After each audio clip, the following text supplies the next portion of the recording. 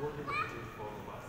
And I want to say that as young people from Isiolo, as we thank the great minds, brilliant minds behind the power let's know that the challenge is upon us as young people to take advantage of this center and make sure that we utilize it 101%. Because actually, an empowered youth is a youth who is able to access, access resources.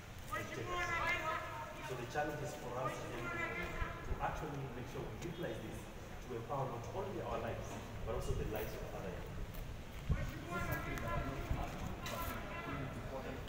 Yes, I do. Yes, uh, uh, uh, again, uh, to my fellow Richard Isiolo, National Council is actually currently uh, the issue of National Youth Council election. So we are actually in the process of helping special for the election. This is also information that